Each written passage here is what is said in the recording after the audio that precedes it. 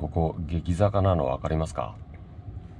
こう看板の支柱のうん高さを見れば分かる通り結構な激坂なんですけど坂道発進していますね。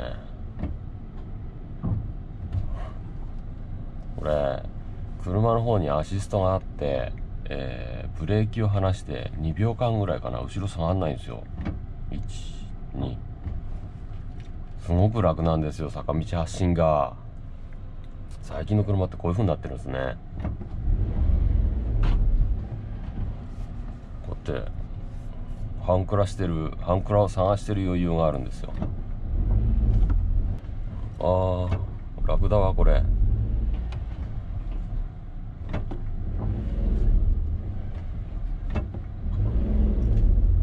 うーん楽よ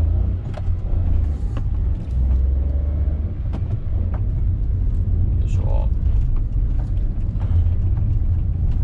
N 版楽だわえーおはようございますその男ですえーと今日はですねアクティ版がになってしまいまして入院です。それで台車にねホンダのディーラーさんが用意してくれたのはこの N 版ですね。よいしょ。ここはね去った峠です。朝の去った峠。えーとこれからねセブン連れてねあの生地当てに行くんですけど。ここでいいかなよ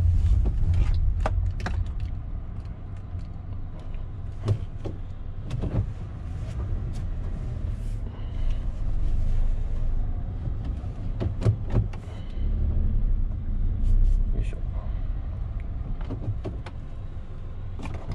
ここか。ステッキブレーキだ。これ。よいしょっと。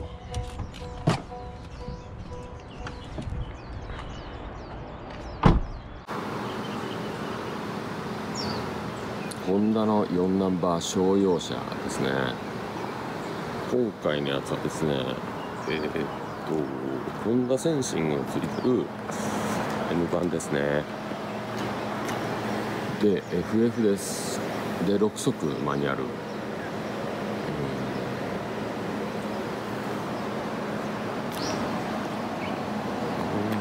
アクティ版に比べて明らかにこう車高が低いですよね。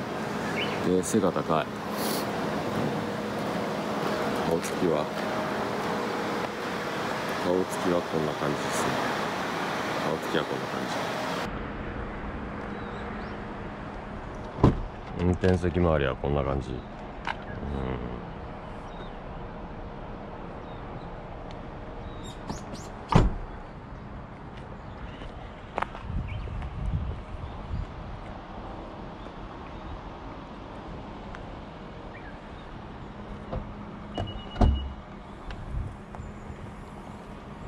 リアハッチ開くとこんな感じ。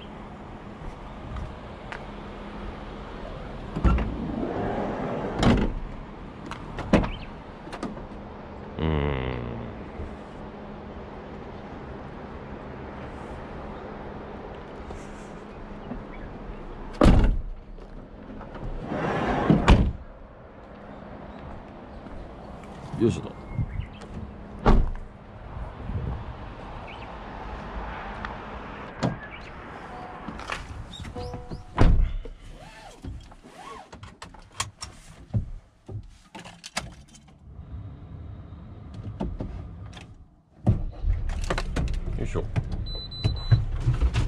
パーキングブレーキがねステッキですよ。珍しく。さ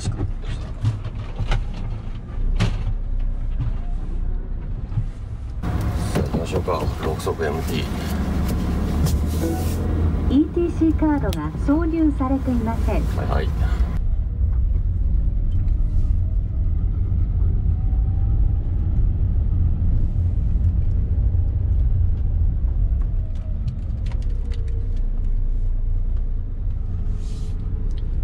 しょ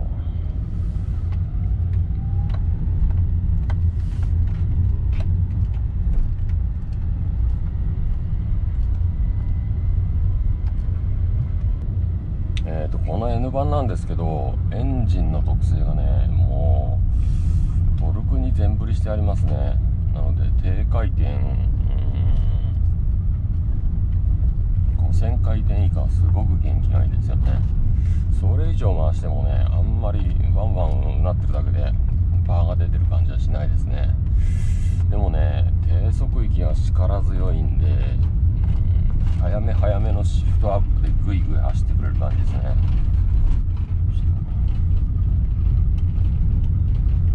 やっとねうちの方も桜が咲きましたね去った峠。ほんといいとこです。こう農業作業道なんですけど非常にこう路面がガタガタ。荒れてるんですけどね。こんなとこアクティバンで走ったらほんとガタガタいっちゃってうるさくて仕方がないんですけど。N バンは静かですね。やっぱり N バンの特徴として静粛性っていうのがまあ一つあるんですけど。エンジンがね前に行ったことでおとなしいです。室内静かですね。走行音はねもう80キロ以上出しちゃうともう走行音がうるさいですけどね。それはもう軽自動車なんでまあ仕方がないですけどね。街中走ってる分には本当に常用と変わらないですね。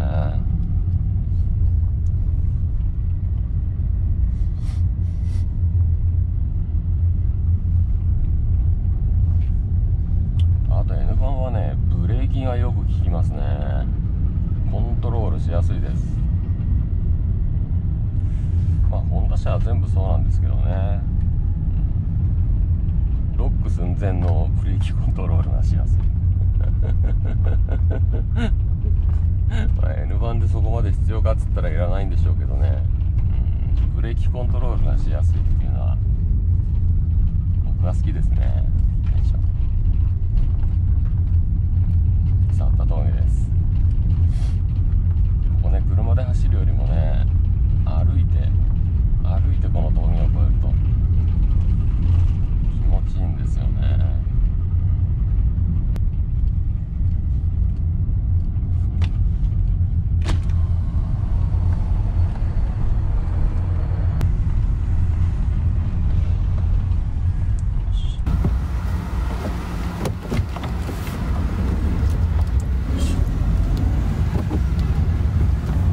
じゃあぼちぼち走っていきましょうか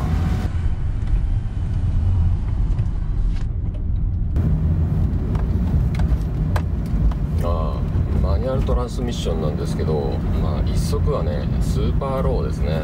まあこの手の車みんなそうなんですけどだいたい平坦の発進はね二足発進ですね。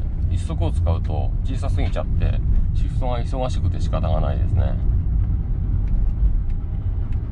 なので平地でのスタートはだいたい2速で発進してます。まあ僕の場合はですけどね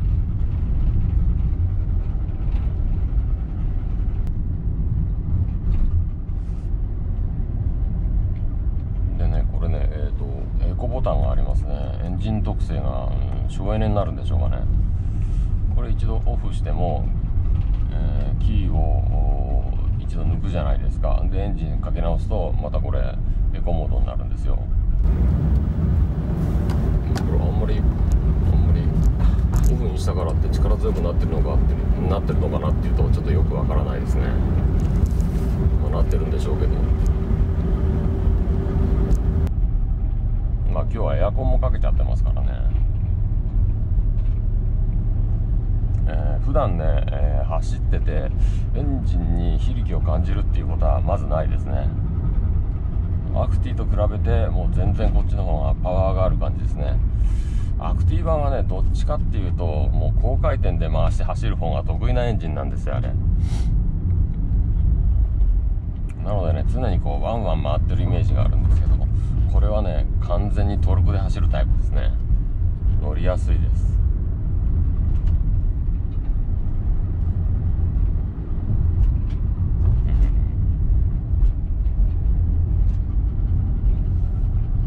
おー粘るエンジン。最近のエンジンのすごいところはノッキングしませんよね。キンキンキンキンキンなんつって低回転で発進するとキンキンキンキンキンってなるんですけど全然ならないですよねこのエンジンは。粘っこい多分2年ぐらい前に BRZ 乗った、うん、スバルで乗った記憶があるんですけど、あの時のマニュアルよりも、よっぽかね、クラッチの感覚も、シフトのフィールも、こっちの方が全然使いやすいですね。さすが商用車。うん、初心者にはおすすめですね。マニュアル初心者にはおすすめですね。これちょっと登ってる路面なんですけど、一足がスーパーローってどういうことかっていうと、一足入れるじゃないですか。んで、アクセルを踏まなくても、こうクラッチだけでスタートができてしまうっていう。で、アイドリングでこれ今走ってるんですけどね。全然走れますよね。で、粘っこいエンジンと特性、2速。2速でもエンストしません。3速。3速でもエンスト、うーん、しない。アクセル踏まなくても走れちゃうっていう。まあ4速ですね。4速粘るエンジンこれは乗りやすいですね。よいしょよいしょ。で2速2速で加速よいしょ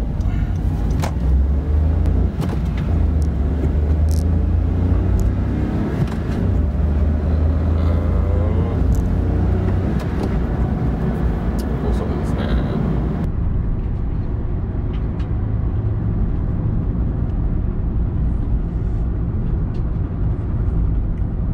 もう全然車の流れに乗るとかバイパスの加速とかうんああいうのでも問題ないですねエンジンに余裕があるかったらどうかわからんですけどうん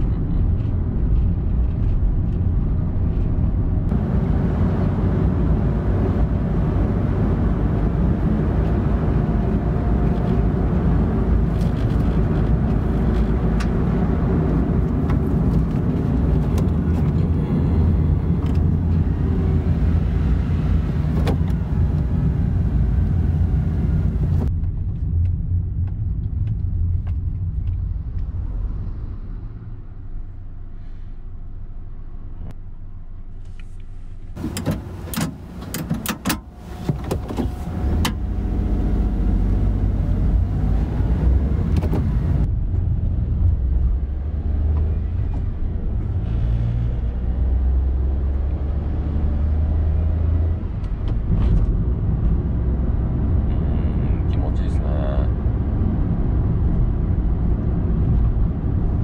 大体普通に走って3000回転以下で、えー十分つないでいきますね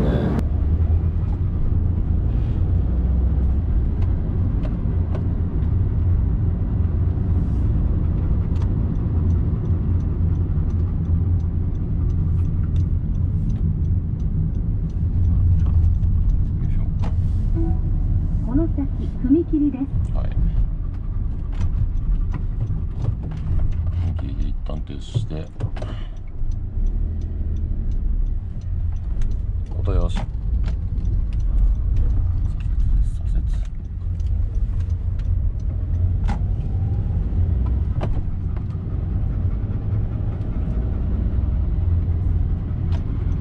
バイパスですね。よいしょ三速。四速。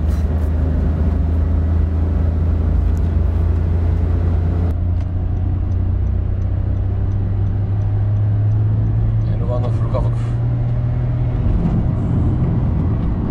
速加速あのホンダのねホンダのサービスマンが、えーアクティバの車検の時に N 版をぶっ込んでくるっていうのは台車にぶっ込んでくるっていうのは、うん、やっぱりアクティ版がもう替え時なんで次はこれどうですかっていうことなんですけど、うん。N 版乗ってて楽しいですねやっぱりね。まあ候補に上がるのはやっぱりスズキのエブリ、えーあとダイハツのハイゼット。それかこの N 版だと思うんですよ。4ナンバーでね、えー商用車で考えると。まあ、商用車のメリット。商用車を遊びで使うメリットってどうなのかなっていうと、まあ、金銭的にはね、えーと、税金の関係で、えー、車検の時車検の時に重量税か。重量税が安くなるのとあと毎年の毎年の4月のあの税金ですよね。自動車税か。あれも半額ぐらいになるんですよね。えただ任意保険がちょっと割増になるんじゃなかったんでしたっけ？で、えーと、年間トータルで考えるとその税金面と保険で見ちゃうとそんなに商用車乗るメリットってないんですよね。確かね2万円か3万円ぐらい年間でね、えー、商用車の方がお得だよっていう。そんなところでしたよね。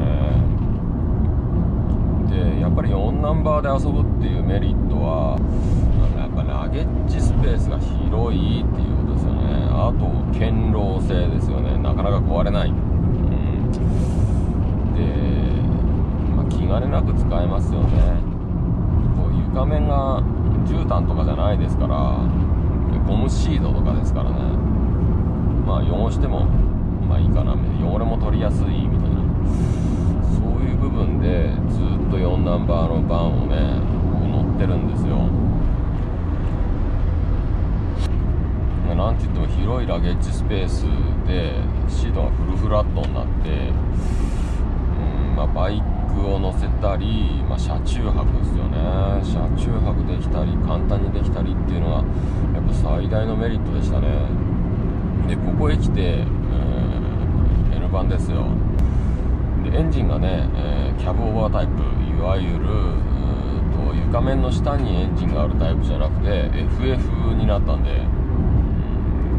これは珍しいって感じですよね。やっぱどうしても床面積はなくなってしまうもんですから、うん、まあ、本田さんすごい努力はしてるんですけどね、これをどう見るかってとこですよね。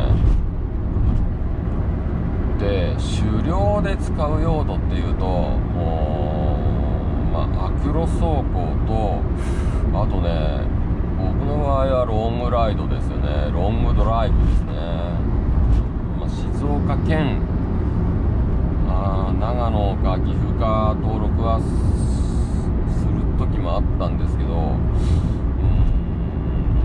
ん。まあそうやってね県外行くっていう用途も考えるとまあ、静岡県もねあの東西に長いですから結構乗るんですよ。片道2時間ぐらいかけて両場まで行ったりしてますよね。なので往復4時間か。そのぐらいますんでやっぱり静かっていうのはねすごく疲れを軽減させますよね。ロングドライブがやりやすい。でこれホンダセンシングがついてるじゃないですか。マニュアルでマニュアル車でもあの車線逸脱装置とか警告が警告が出たりするんですよね。警告が出てどうなるかっていうとあの元戻るんですよね。ピピピピピピピピピーっつってこう車線戻してくれるんですよね。すごく自然に戻してくれるんで俺大好きですけどねこれ。まあ、声にこうやってふらせふらつかせるのは良くないですけど。こんなんついちゃってるよ最近の商用車は。もう安全ですよね。こになんかカメラがついててミリ波でレーダーも下にあってそれで見てるんでしょうね車間とかね、うん、衝突の時もこれブレーキがかかって止まるんでしょうね、うん、安全な車だ。やっぱり安全性っていうのはロングライドにロングドライブに必要不可欠ですね、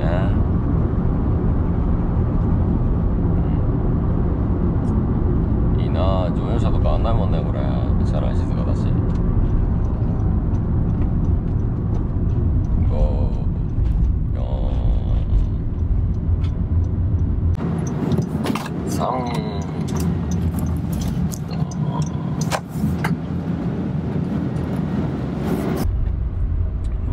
めんどくさいっていう人もいますけどね。この人間って素晴らしい生き物でこう何にも考えてなくても適当にこうシフトするようになるんですよね。車運転してると。こ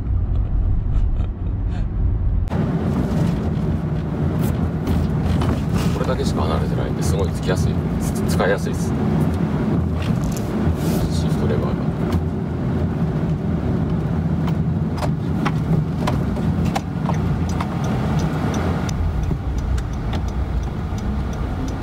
しっかり止まって。しっかり止まってよ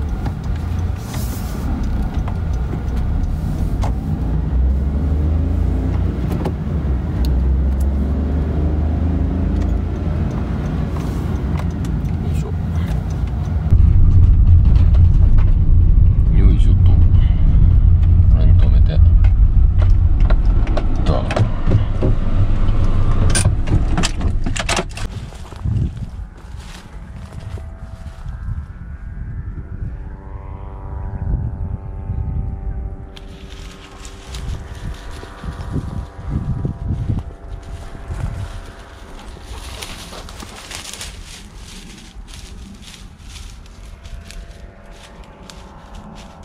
よしよし。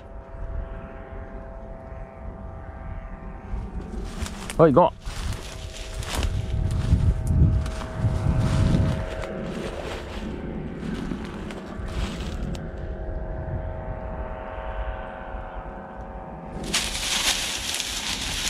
う。よしよし。よしいい子だ。